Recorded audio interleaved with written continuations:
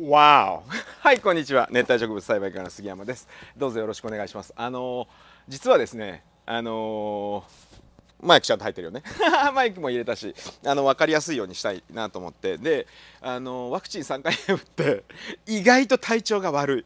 だけどまああの今回ねあのそろそろ体調良くなってきたんであの伝えていきたいと思います。今回はつる性の里芋化ポトスについて解説したいと思います。でえっ、ー、とねなあの間違った情報が結構あっちゃったりすると思うんでそこら辺がねあの正していけれればいいかなと思ってるんでどうぞよろしくお願いお願いします。ポトスってさ本当ね昭和の園芸って言ったらポトスって言ったらまず緑色の葉っぱ黄色のハケメザ・ポトスっていう感じだったと思うんですけどもう今見て。パーフェクトグリーン。わーね全然今って実はポトスめちゃめちゃ面白くなっててで今あのポトスでも一つね世界に羽ばたいてるあのポトスがあるんですよ。それがこちら。じゃんグローバルグリーン。わー。これがさすごいねポトス通常のポトスってなんか黄色の符だったりっていうのがあったと思うんですけどそれがねあのー育種家さんね浅岡さんって言うんだけどあの浅岡さんが頑張ってあの育種育種してった。要は選抜してったんだよね枝代わりが出て。でそしたらこんな感じでねあの緑に、えー、淡い緑の符が入った。ね素晴らしい品種です。ねこれね何がすごかったかって例えばさポトス業界って多分十何年前に一回とんでもないことが起こったんですよ。でそれがこちら。エンジョイ。これがねもうポトス業界を変えたと言ってもおかしくないぐらいの品種だったんですよ。何かっていうと今までのポトスって葉っぱ大きかったんですよ。大きくてで生育良かったんでぐんぐんぐんぐん伸びるっていう感じだったのにこのエンジョイが出た時に葉っぱが小さい。そして白筆である。でちょっとよく見るとさシルバーだったり白だったりグリーンっていうのがあるよね。こんな感じで何これっつって。で生育がすごくゆっくりだったんですよ。本来ポトスって生育ガンガン生育するぜみたいな感じだったものがゆっくりになってこれはね本当に衝撃が走って素晴らしいよね。素晴らしい。わお。ね、でこれからね、あのー、まあ、導入されても10年以上経つんですよ日本に。ねエンジョイが出て。でそこからあのいろんな選抜があって今ねもうあのねマンジューラ今だとステータス日本だとステータス、えっと、アメリカだとマンジューラって言われてるものだったりあとはこうやってグローバルグリーン。これねちなみにアメリカの人見てる？見てないかもしんないけどこれ実はアメリカでも販売されてます。でヨーロッパの人見てる？これもヨーロッパで、えー、来年あたりから多分販売されると思う。うん、来年あたりから多分販売されていくんでもうちょっとだけ待って。日本が先行販売です。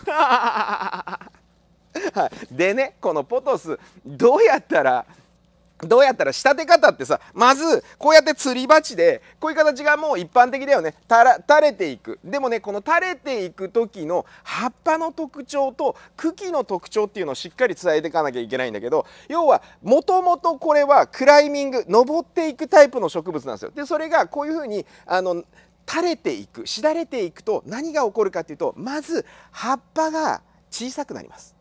うん、これはね肥料がちゃんとやれてる環境だったら意外とちそんなに小さくならないんだけど肥料が少ない環境だと特に葉っぱが小さくなります。そしてこの石棺石棺ねここで葉っぱと葉っぱの間これが比較的伸びやすくなります。この2つ覚えておいて。はい。でそうなっちゃうとどうなっちゃうかっていうとねああとねこれねどこまで伸びるのかとか言われちゃうけど大体ね結構伸びる。うん、これね僕 一番、えーと、登ってる自生地まああと日本でもね植物園行くとすんごい葉っぱがでかくなったやつあるんだけどまず、えーと、登り詰めるんですよ。ね、で僕が見た最大の高さはね20メートルいや30メートルぐらいかな。すんげえ登るんですよ。いや30メートル言い過ぎかもしれない。20メートルはもう間違いない。なんでかっていうとえっ、ー、とねハワイ島のえー、ヒロにあるトロピカルボタニカルガーデンってところがあるんですよ。そこのヤシの木にビヨーンって登ってどこまで行くみたいな。それね1800何年代からあったところだからめちゃめちゃヤシの木大きいんですよ。でだから10メートルいやもうちょっとあるなもうちょっとある10メートル以上はある。でそれビューって登っちゃって登りきっちゃったやつがえー、っとすいませんっつって。あの私光を浴びようと一生懸命上に登ったんですけども。もうあの行くところがありません。どうすればいいですか？ヤシの木この子生育遅いんです。すいません。どこに行けばいいですか？っていうような状態でこうね何が起こるかってね今度ねここからキューッと落ちていくんですよ。キューと押してて、あ、えっ、ー、と、隣の木になんとか、みたいな 感じでキューと押してて、そうした時に葉っぱが、上に行った葉っぱっていうのはすごい大きな葉っぱになるんだけど、そこから上に行き切った葉っぱっていうのは、もう、あの、次の場所へ行きますって言って、葉っぱを小さくして、どんどんどんどん、その、遠くへ、遠くへ行こうとする。で、それがしだれるっていうことなんですよ。だから、登ると葉っぱでかくなるよね。えーしだれると葉っぱ小さくなって石棺伸びるよねっていうのがなんとなく分かったと思うんですよ。でねでねじゃあ登らせると全て登らせたらいけるのかって言われるといや実はそうじゃないですよ。実は日本では2つの仕立て方があって1つはタワー作りタワー作りっていうのは支柱にこのポトスの支柱を立てるじゃない。支柱を立ててポトスのこういうのはずっとこうやってくっつけていく。でくっつけてって葉っぱの向きを合わせていくっていうやり方があるんです伸ばしてタワーのように支柱にはませていってこれはねもう人の手がもうすごいこうこうこうあの、えっと、ビニタイって言ってあの針金だよね。針金でこういう細かく細かく止めて。でそれでねひかあの要はもう今ねほとんどタワー作りやる人がいなくなっちゃったんですで昔はねどうだろうな15年前とか20年前は普通にいたんだけど今もう絶滅です。はいタワー作りやってる人。でそのタワー作りやってなんでそれが使われたかというと、ね、貸し鉢で結構使われてたんですよ。でもうこれもねいなくなっちゃったんだけど京都の生産者で素晴らしい生産者がいてあのえっ、ー、とねポトスってさすごいあったかいイメージじゃん。あったかいイメージなんだけどあのー、京都の生産者はね僕もこれ聞いた話実際に行けなかったんでやめちゃったから。でどういうことをしてたかっていうと要はね、えーと、冬にだよ。12月とかにあのサイドを開けるのお店の中の。サイドを開けて風バンバン通すんだって。でそれ寒る寒るってさせると石棺短くなる。で石棺短くなって葉っぱがビューってたくさんついてる形がめちゃめちゃ美しいよねって言って作ってたタワー作りの方がいるんですよ。でそれはねもうあの今となってはで葉っぱがたくさんあるからその貸し鉢向けだったりあのリえ、ー、と何だったっけパーテーション代わりに使って使われたっていう歴史があるんですよ。でね、えーと、今度はヘゴ仕立てでヘゴの木が今入らなくなっちゃったからもうダメなんだけどヘゴ仕立てで幅ばせていくとあの根がなってあの根がガッとくっついてガッと葉っぱでっかくなるんですよ。だからね要は登らせても針金でくっついたらあの基本的には大きくならないんですよ。針金でくっつけてて根がガッてならなかったら。ね、でもあのえっ、と根がガッとくっついたら大きくなるんですよ。でねでねここからなんです。これがみんなし大体の人が知ってる情報。だけど 限界を突破するのが僕なんですよ。限界をだからそれって当たり前だよねで止まっちゃうのはみ普通の人あ僕はいやだからえ？それって条件整えたらできちゃいませんっていうのが僕の考え方です。でうちはですねこの温室っていうのが約柱の高さが4メートルあります。で4メートルあってでそこにポトスを本当は登らせればよかったんだけどちょっとあのポトス今あんまり僕作ってないんですよ。なんでかっていうとポトスってね実は生産者が作るには結構高温でやらなきゃいけないんですよ。冬場でも温度っていうのが18度もしくは20度を超える作りにしないと結構生育悪くなっちゃうんで春に出したりだとかあの年に3回転ぐらいぐらいするんですよ。要はあの小さいポットで3000ポットってのがあると思うんですけどあれを年に3回転回すのがポトスの生産者なんですよ。だから20度ぐらいなきゃ無理だよね。22度あれば抜群だよみたいなすごい高熱費かかっちゃうじゃん。うちはねあのでも22度を常にこうなんかあの22度にする生産者ってなかなかねあの高熱費かかるんですよ。これが。これがかかるんです。なので僕の場合はもう15度にあの設定してるんですよ。なんでかっていうと15度ぐらいだったらあの一般家庭でもなんとか持ちこたえる。で15度からの5例えば10度になっちゃったの5度の落差。より20度で育てた10度の落差。どっちがいいかっていうと僕は5度の落差の方がまだ耐えれるかなと思ってるんでそういうやり方してるんですよ。でね。でね。でね。登るのってあの例えば、えっと、ポトスも登るんだけどどこうやってスキンダプサススピンスキンダプサスね。これも登ってったりするんですよ。これもあの大きくはなったりするんですであとねもう一個ねそのポトス登りますよね、えー、スキンダプサスも登る。じゃあモンステラも登る。でもねフィロデンドロンで登るやつがいるんですよ。でそういうのも僕も僕も見ててあアンスリムでも登るやついるよ。だから里芋買ってさなんか上に行きたがるんだよねあいつら。でねじゃあさその支柱だとかその鉄の部分で根がつかないと登りませんよね。葉っぱ大きくなりません。なるんです。環境次第でね。だからこの15度の環境だったり湿度が70%であのあったりだとかそういう環境では実は登るんです。でどのぐらい登るかあの今切ってきました。今ねだいたいここの 1m80 ぐらいのところから枝を切ってきてガンって切ってきてあのこう下げてきました。でこれポトスじゃないよ。あのフィロデンドロンね。はいあの見る？見る？汚いよ。わー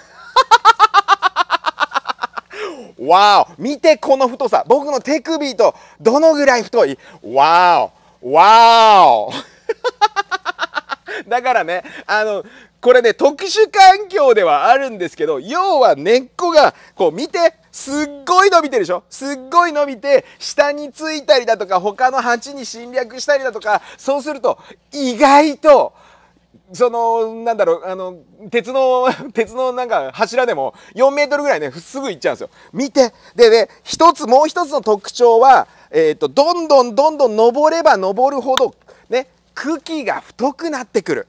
茎が太くならないとねどんだけ登らしても葉っぱはでかくならない。はい。わーであとはねちょっと待ってもうちょもうもう、もうなんかすごい。すごいことになっちゃった。でねあとはね、あのポトスのお花っていうのも実はこういうフィロデンドロンだったり、えー、っとモンステラのようなお花仏炎法とあとは肉水果樹って言われる、まあ、里芋が特徴のお花かな。そんな感じ。になります。でね僕はハワイで唯一そこのえっ、ー、とあごめんね。後で後でやっとくから。はい。あのハワイで唯一えっ、ー、とねハワイ島今度はハワイ島じゃなくてオアフ島オアフ島の生産者あの要はコレクターさんかな？あの93歳。もう今多分死んじゃってるかもしれないけど93歳のコレクターさんのそこの人がねホヤを集めてた人なんですよ。でそのホヤの集めてたそのコレクターさんのところであったポトスの花があったんですよ。でどういう状況かっていうと上に登ってなかったの。上に登ってってもうダメだっつって戻ってきてでもまあなんなんとか上に行けるググググってなってた時要は上に行きました下がりましたグググググってあの持ち上がったところで花が咲いたの。びっくりしたよ。これねどんなあの熱帯植物をやってた人に見てもあの聞いてもポトスの花を見たことある人ってほとんどいないんだよね。だからさあポトスの花がここでつくこの条件下でつくんだってあのね要はな花ってねポトスはもうとにかく栄養成長なんですよもうとにかく俺はどんどん上に行きますっつってあのー過去など振り返らんっつって、えあの、登っていくんですよ。で、ギューン登ってて、でも、ああ、ダメでしたっつって挫折するんですよ。挫折して、ああ、ダメだったっつって。探さないとっつってでも俺はもう一度這い上がるって言った時に花が咲いたの。どういうことかっていうと水の位置で言うと ごめんね。水の位置で言うと上に登っていくよねっつって。でそこからこう曲がっちゃうとさここでストレスかかるよね。でそこでまたギューンといくよね。で下がっていってあ水行くかな？伸び伸びやすくなってきたよね？って滑り台のようにギューンってなったけどもう一回上がろうとしてグッてまた水の位置がギュンギュンギュンってなってるんだよ。でそうするとやっぱりごめんね。目目に汗が入ってめちゃめちゃ痛い。そうするとやっぱり水のねあのこれって僕がフィカスとかでもやってる銅管切りっていう形と結構似通ってる状況ができてそこで花が何個も咲いたの。1個だけじゃないよ。23個が普通に咲いてたんだ。びっくりしたよ本当に。あの本当にあのポトスのゴールデンってやつ。だからあこれできればもしかしたらブリーディングできるかもしれないけどポトスのブリーディングはもうねプロの方が日本でもプロの方何人もいるんですよ。で今からそのポトスっていうのは多分ねすごいあのいろんなものが出ます。あの生鹿さんが頑張ってる、えーと、僕が知ってる限りで、えーと、1人ね今世界に向けたねこのグローバルグリーンを作った、えー、浅岡さんっていう方が見えますけどそれ以外にもあのポトスね新しいポトスを作られてる方が何も見えるんで今からねポトスが熱い。ポトス熱いよ。本当に。ね僕は個人的に好きなのはあのグローバルグリーンとあパーフェクトグリーンです。これはねなかなか難しいんですよ。このでね今の白壁とかさシンプルなあの家ねうちみたいなこんなジャングルになってたらこれあのなんか生えないかもしれないけどあの白壁だとかにちょっと置いてみて。めちゃめちゃいいから。わおはい。そんな感じで今日はポトスね。であのあとねあのもうちょっと話すと,、えっと肥料っていうのは結構好きです。でもあの先ほど言った通り最低気温ね20度ぐらいから結構吸えるよね18度でも吸えるんだけどであの20度ぐらいが一番ってあの最高が20度超えたぐらいから一気にぐんぐんぐんっていけるんでその時に肥料しっかりやってください。で、えっと最低気温ねえっとね僕はだいたい10度とか書くんだけど3度だとか5度になってもあの何ちょっと葉っぱ小さくなるしいじけるけど生きることはできる。0度はやっぱり難しかった、うん、0度はやっぱり難しい。だから3とか5度でもなんとか耐えることはできる。でそれがポトスの強さだと思うんですよ。であとは水差しでも増えるしさ刺す時はねもうハサミチョキンって切って水につけとけば2週間ぐらいでギュギュギュってなってくるし。でそんな感じでポトス楽しいんです。楽しいんです。増やせるし楽しい、はい、だからねぜひ皆さんポトスねあの登らせたりだとかあのタワー仕立てにしたりだとかなんかこう丸くさ針金作ってさそこにずーっとはわしていく。ぐるぐるぐるぐるではわせますみたいな感じでもいいしいろんなポトスの楽しみ方をやってみてどのやり方も正しいです。で葉水は欲しいかというと僕はあげる派。僕はあげる派。午前中ね。でもあのこういう白布のやつだとか不入りのやつは夜濡れてたり代謝が悪い時例えば寒い時だとか代謝が悪い時に夜濡れてたりすると葉っぱがドロってとろけちゃう場合があるんですよ。ね、そこだけ気をつけて。あのー、だから僕は朝、朝しっかり水をやる。でね、あともう一つ、こういうね、葉っぱが多い系のやつっていうのは、風は僕はある程度は欲しいよ。だね、代謝を高めていかなきゃいけない。なんで葉っぱがたくさんついてるかというと、たくさん蒸散したいからだよね。だから、あの風はある程度動いている環境が好きだと思うんで、ぜひやってみてください。そんな感じでポトス。ぜひ楽しんでください。ありがとうございました。ありがとうございました。ありがとうございました。